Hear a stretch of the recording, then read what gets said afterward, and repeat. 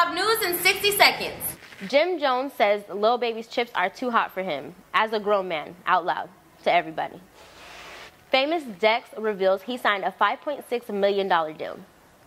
So, y'all trying to rob him tonight or tomorrow, the next day?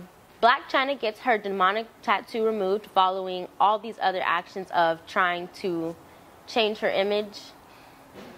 Congratulations to her, but this rebrand is very sudden. I don't even know where it came from. I mean, I guess I didn't really pay her much attention prior, but congratulations, Black Chyna. Mr. Beast tips waitress with the brand new car. I really wish I just went to be a waitress instead of college. Rihanna and Jhené Aiko, both victims of car theft in Los Angeles.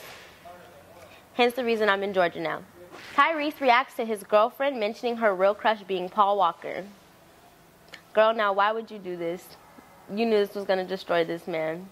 You knew he was going to be devastated. We've seen him cry on the internet already. Kanye West makes a post stating that he now likes Jewish people again. Shout out to Jonah Hill. Honestly, 21 Jump Street will make anyone like Jewish people. So, vibes, I guess.